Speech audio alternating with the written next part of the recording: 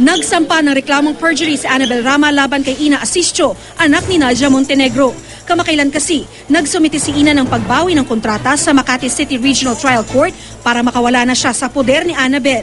Pero buwelta ng kampo ni Annabel, binago raw ni Ina ang rescission of contract na kanyang isinumite sa korte. May pagkakaiba rin daw ang facts of the case sa original at amended versions nito. Inconsistent din daw si Ina sa mga inihaing supporting documents sa korte. Kukonsulta raw muna si Ina sa kanilang legal counsel bago maglabas ng pahayag.